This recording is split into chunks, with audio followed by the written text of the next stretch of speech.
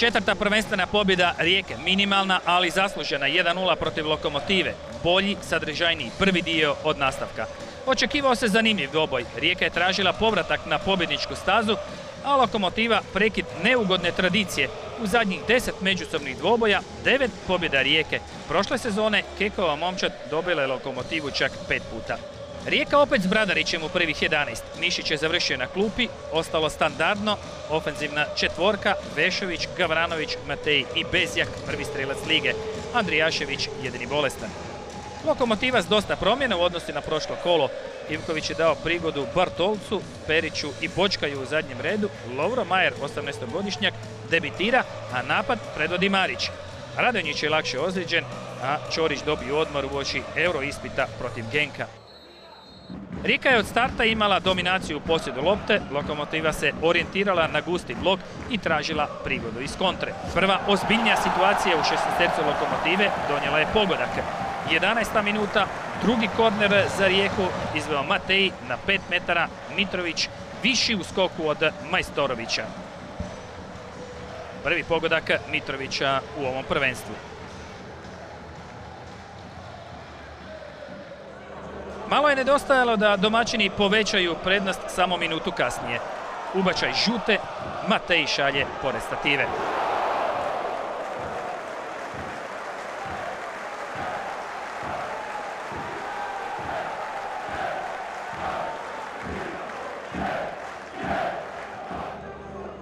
Rijeka traži drugi gol. Ima novu veliku prigodu u 19. minuti. Počelo je dijagonalom za Ristovskog. Odličan centaršut e, na Gavranovića koji u duelu s Bartolcem iz drugog pokušaja šalje loptu preko gola.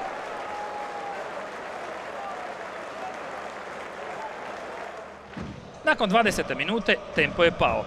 I izmrtvila nova prigoda za Rijeku u 34. Sjajna dubinska lopta Vešovića za Bezjaka, no snažan šut najboljeg strelca prvenstva brani Zagorac.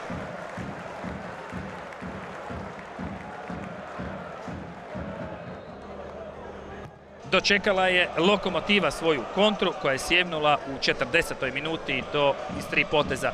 Zagorac za Marića, dijagonala prema Fioliću, ali spašava prskalo pravovremenim istrčavanjem.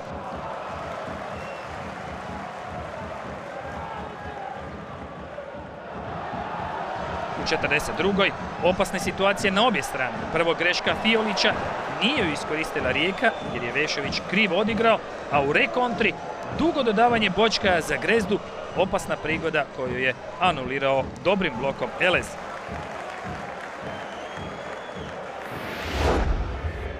Početak drugog dijela uspavan bez očekivane agresije domaće momčadi. Lokomotiva pak nije uspjevala opasno doći do 16 srca Rijeke. Prva ozbiljnija prigoda tek u 63. Vešović glavom nakon ubačaja Mateije i slobodnog udarca.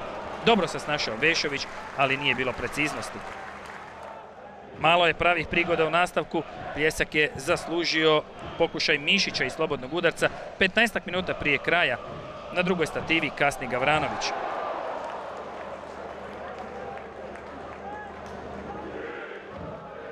U završnici prilika utakmice za lokomotivu. 84. minuta Ivanušec prema Čekićiju. Povratna lopta na koju natrčava Ivanušec, čiji jako dobar udarac odbija prskalo u gredu. Bravo za vratara Rijeke, koji cijelu utakmicu nije imao posla, ali je sačuvao koncentraciju.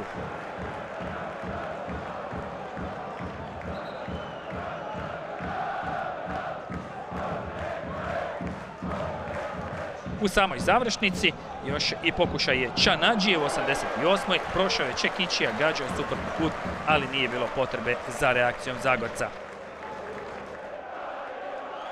Do kraja Lokosi su pokušavali promijeniti rezultat, ali Rijeka je bila čvrsta u obrambenom bloku.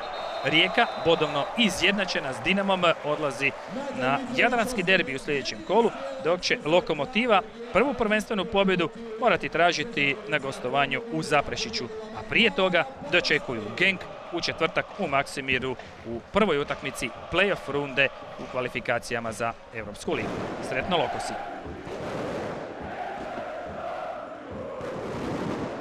Mi smo došli s ambicijama da uzmemo najmanje bod, tako smo se bili postavili, primili smo ponovo nesretan i nesretan gol iz Harkidja igre, iz kornera.